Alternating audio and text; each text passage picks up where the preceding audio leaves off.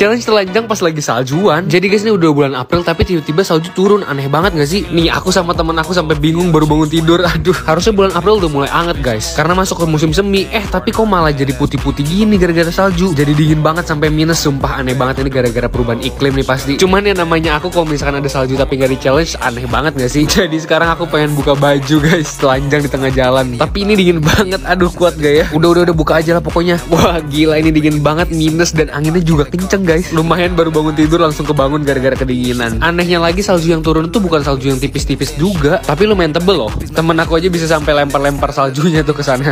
Tuh lihat deh mejanya sampai ditutupin putih-putih salju. Taman di tengah jalan juga. Ini kaca mobil sampai ketutupan es gitu tuh. Penasaran banget gak sih sama rasa salju tuh kayak gimana? Iya begitulah guys keanehan bulan April saljuan. Lanjut nanti jalan-jalan gratis ke luar negeri. Jadi kali ini aku sama teman-teman kampus aku bakalan ke luar negeri guys. Kita bakalan ke kota Gent, Belgium. Ke luar negerinya naik bus aja karena ke Belgium itu deket banget cuma dua jaman. Nah kan langsung sampai sekarang. Jadi ini tuh program kampus guys kayak field trip gitu deh. Di Belgium kita bakalan nginep satu malam dan mampir ke kampus lain yang ada di Belgium. Kita disuruh bikin tugas dan kenalan sama teman-teman baru yang ada di sini guys. Seru banget sih pengalaman yang baru buat aku. Apalagi semua programnya ini gratis. Nah kalau ini tuh penginapan kita, kita nginep di hostel. Satu kamar hostel ada enam orang. Oke banget hostelnya karena rapi dan bersih guys. Gratis lagi. Karena dari pagi sampai sore kita nugas di kampus, baru ada free time-nya malam-malam nih kita jalan-jalan. Dan ternyata kota Gent Belgium bagus banget. Bangunannya antik-antik dan tua-tua gitu deh. Eh aneh banget tapi tiba-tiba malamnya snowing. Padahal ini udah bulan April loh. Keesokan harinya sebelum balik ke Belanda kita dapat makanan gratis dan minuman gratis guys. Kalian pamitan sama teman-teman baru di sini. Iya jadi gitu deh pengalaman gratis ke luar negeri. Bagi-bagi batik gratis ke teman internasional di Belanda. Ini dia teman-teman aku ada yang dari Ekuador, Belanda, dan Dubai. Aku mau giveaway batik gratis ke mereka tapi mereka harus jawab pertanyaan dulu. Can you show me with your Google Map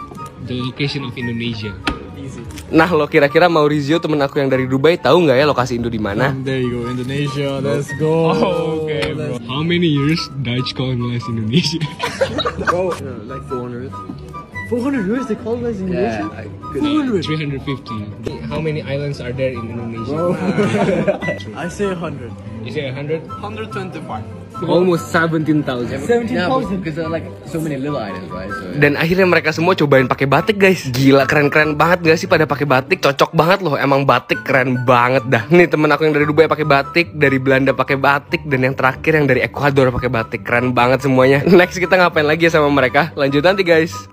Ketinggalan pesawat di Eropa. Kali ini aku mau cerita pengalaman aku ketinggalan pesawat di Kroasia guys. Awalnya harusnya on time, tapi ternyata aku harus lari sekitar 15 menitan dari halte bus ke bandaranya. Aku baru sampai di bandara Zagreb sekitar 40 menit sebelum penerbangan. Walaupun ngos-ngosan aku harus lari ke tempat counter desk check-innya. Tapi ternyata mejanya kosong, nggak ada orang sama sekali. Mungkin karena bandaranya sepi juga ya, jadi bener-bener sederet tuh nggak ada orang sama sekali guys. Aku minta bantu ke salah satu petugas, tapi ternyata nggak bisa. Karena minimal tuh harus check-in 45 menit sebelum penerbangan. Artinya aku udah telat sekitar 5 menitan gitu. Bener-bener pusing banget dan nggak tahu harus minta tolong ke siapa karena aku sendirian. Jadi aku udah bener-bener ketinggalan pesawat sekarang. Tiket pesawat penerbangan ke Belanda hangus guys. Tiket selanjutnya baru ada besok tapi lima kali lipat lebih mahal. Yang murah baru ada minggu depan. Bener-bener stuck di Kroasia. Setelah mikir-mikir akhirnya aku memutuskan untuk beli tiket penerbangan lagi. Yang pasti bukan ke Belanda karena harganya mahal banget. Tapi aku ikut teman aku yang penerbangannya ke Roma Italia guys. Iya beneran ngikut Leo ke Roma Italia. Harga tiketnya jauh lebih murah daripada ke Belanda. Sekalian tambah waktu jalan-jalan ke Italia. Dan itulah pengalaman pertama kali aku tinggalin pesawat dan nyasar sampai ke Roma Italia. Bener-bener nggak direncanain banget. Jadi tunggu di video-video aku di sini ya. Hampir telat ujian kuliah gara-gara sepeda rusak. Jadi hari ini aku ada ujian kuliah guys. Selalu deg-degan sama takut beberapa hari sebelum ujian. Walaupun udah belajar sampai ngantuk-ngantuk begadang, perasaannya kayak nggak tenang gitu gak sih? Kalian juga gitu nggak? Ya udah pokoknya kalian temenin aku berangkat ujian ke kampus. Seperti biasa kalau misalnya di Belanda pasti naik sepeda ke mana-mana. Resenya tiba-tiba ini sepeda rusak guys. Coba kalian lihat ya ada yang aneh gak sepedanya? Pedal sepedanya patah yang sebelah kiri. Gila aneh-aneh aja pas banget sebelum ujian lagi. Sumpah ini 15 menit lagi ujian loh. Kalau telat semenit aja udah nggak boleh masuk ujian guys. Aku langsung lari-lari ke kampus. Kacau sih kalau misalkan nggak bisa ikut ujian gara-gara sepeda. Untung sampai juga nggak telat. Walaupun mepet banget sih tapi nggak apa-apa. Tuh lihat teman-teman aku udah pada di dalam ruang ujian semua. Nah begini suasana ujian di kampus aku guys. Satu koridor ruangan itu harus diem banget. Nggak boleh ada yang ngomong dan berisik sama sekali. Bener-bener ketat karena dalam satu ruangan ada dua pengawas guys. Jadi jangan coba-coba nyontek deh. Nah ini dia ruang ujian aku. Ini kayak lab komputer gitu buat 20 orang. Dan lihat deh itu setiap meja disekat-sekat loh. Ya untung aja aku nggak telat dan masih bisa ikut ujian guys. Doain lulus ya.